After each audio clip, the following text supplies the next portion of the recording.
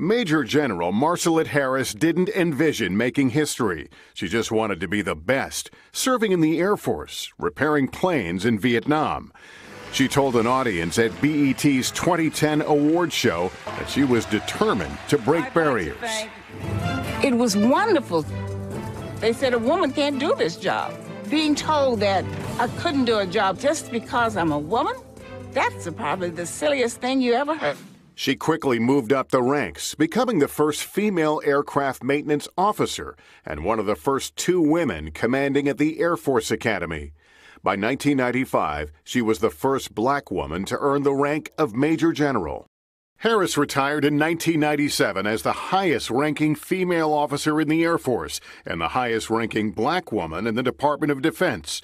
She worked in the White House under four presidents. Her daughter, Tanisha, remembers.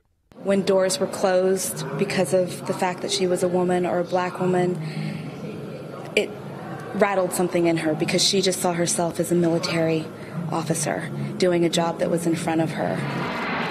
Harris died in September at the age of 75. On Thursday, this American hero who'd achieved her goal of being the best was buried in Arlington National Cemetery with full honors.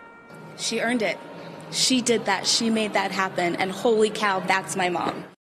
Hey, NBC News fans, thanks for checking out our YouTube channel. Subscribe by clicking on that button down here and click on any of the videos over here to watch the latest interviews, show highlights, and digital exclusives.